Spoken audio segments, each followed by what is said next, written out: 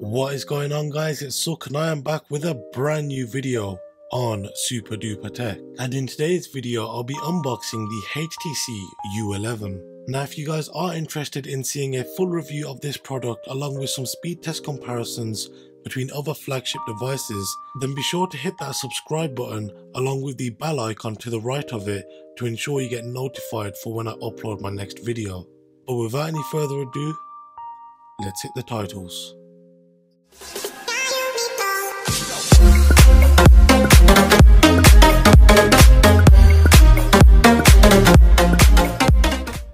Now the first thing that I do want to get into talking about is the pricing of the U11. Now if you are here in the United Kingdom, you are looking to spend around £600 for this device. But if you are over in the United States, then this smartphone will set you back around $650. Now if we take a look at the spec sheet, the U11 is rocking the Qualcomm Snapdragon 835 which is a 64-bit octa-core processor along with 4GB of RAM and 64GB of internal storage.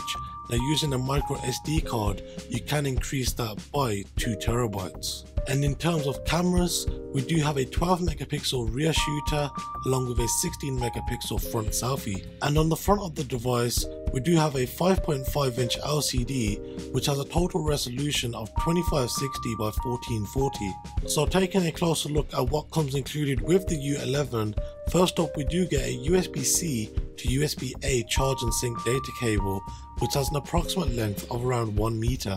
The next items included with the U11 are of course the USB-C earphones. Now these are the in-ear type of earphones and with this of course HTC are included an extra two pairs of ear tips. And of course the next item included with the U11 is the USB wall plug. Now as this is a fast charge enabled plug and smartphone, you should be able to charge up the U11 from 0 to 100% in just under 110 minutes. The next item is of course the U11 itself. Now if you do want to see more on this smartphone then be sure to hit that subscribe button to be notified when I upload videos surrounding this smartphone. As we take a closer look at the other items included with the U11, we can see that HTC actually provide us with a hard clear case. This case provides minimal protection and is only there as the U11 is so prone to being scratched. You do also get a SIM card ejection tool, which as the SIM card and SD card are in the exact same place, you will also need this tool to remove the SD card. Also this smartphone does not have a headphone jack, but it's nice to know that they do include a USB-C to 3.5mm headphone adapter. You do also get a HTC branded microfiber cleaning cloth so that you can clean the highly reflective polished shine on the rear of the device. And lastly you do get some documentation and the first of these is of course a little quick start guide which gives you a general overview on how to insert your SIM card and SD card into the U11.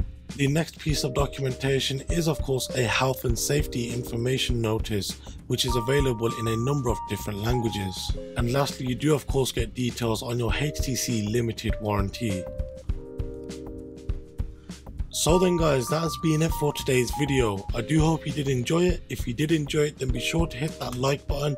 And if you are new around here, then why not subscribe? And if you've got any questions as to what you've seen in today's video, then be sure to leave them down below in the comment section. Or alternatively, you could go ahead and follow me and add me on my social media. Once again, thank you guys very much for watching and I'll see you guys next time. Have a good one.